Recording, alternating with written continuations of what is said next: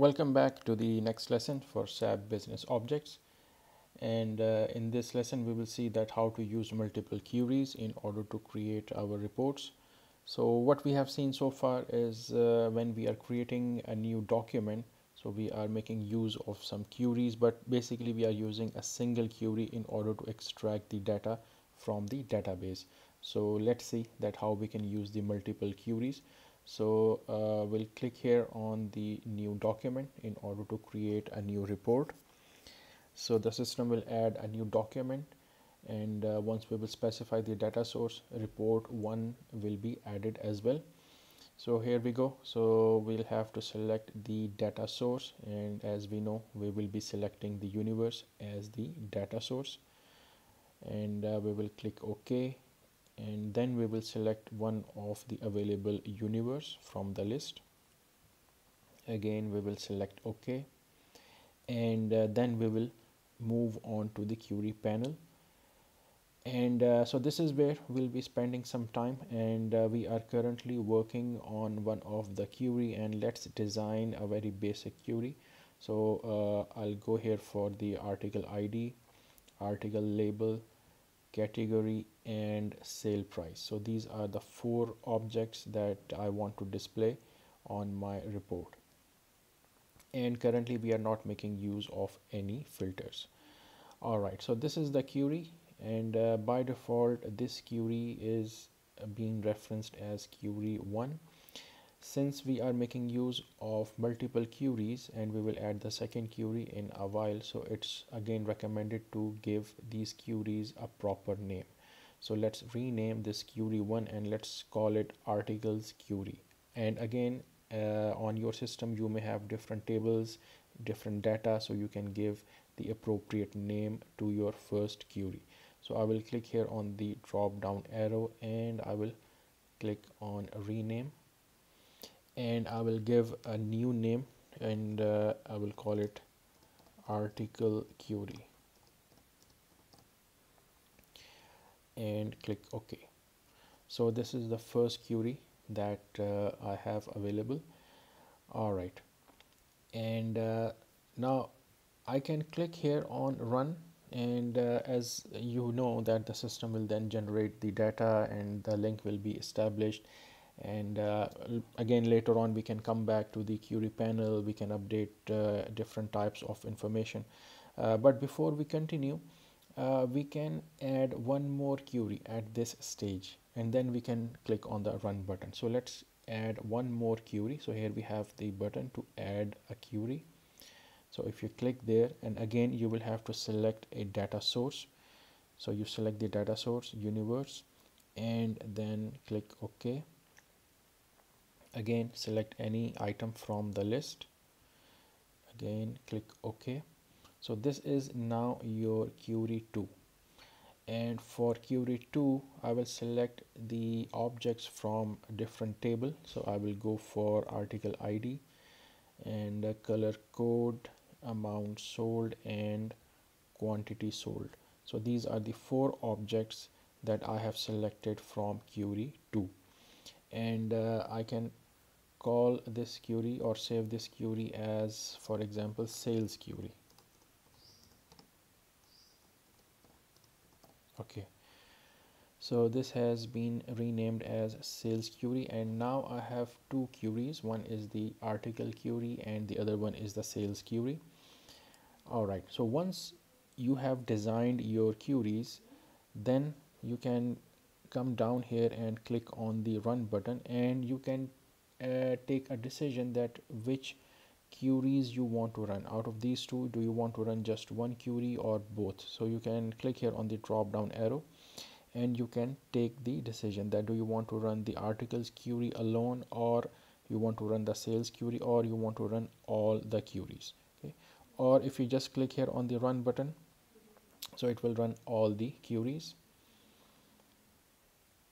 And here we go.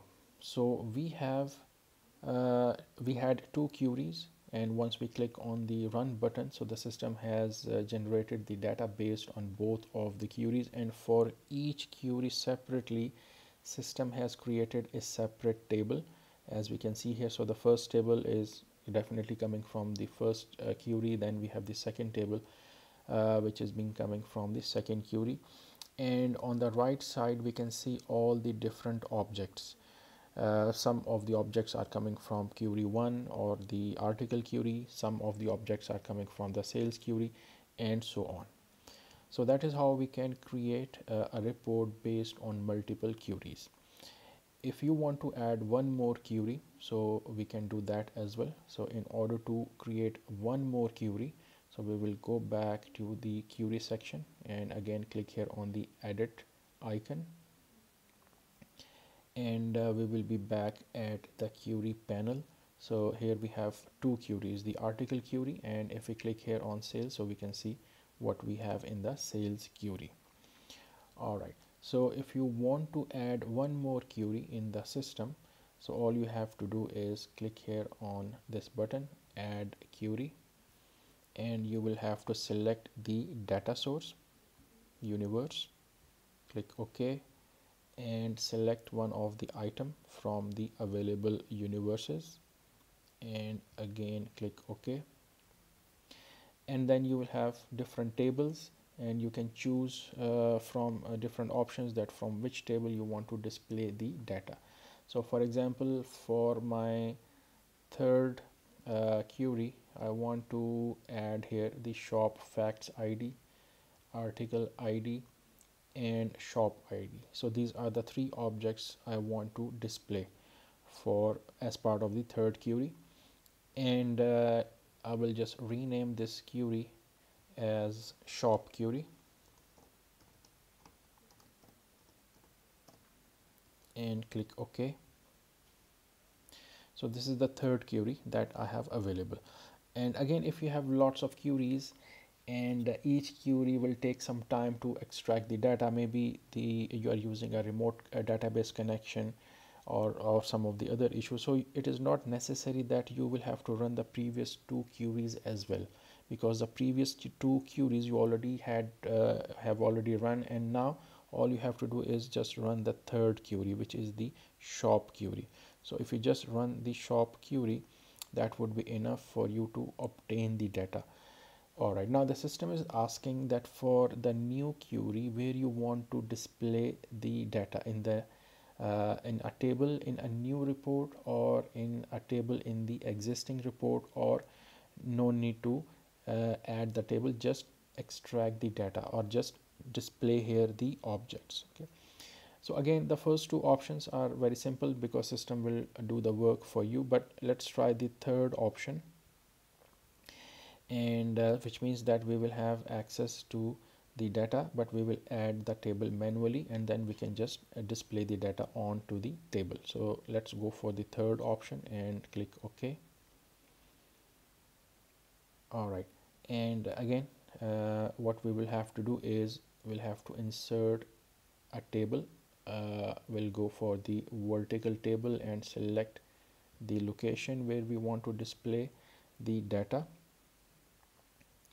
and then this table is already selected which has been referenced as block 3 so we will click here on the first icon so that we can see how many columns have been assigned. So currently zero columns. And then all we have to do is to drag the columns that we want to display on this table. So we'll go here for the first object which is the shop facts id so we can select the shop facts id and drag it onto the column section. All right.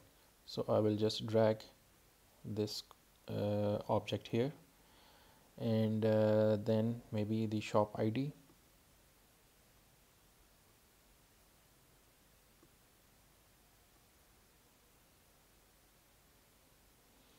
and then let's go for the article ID and again we can directly drag it onto the table as well.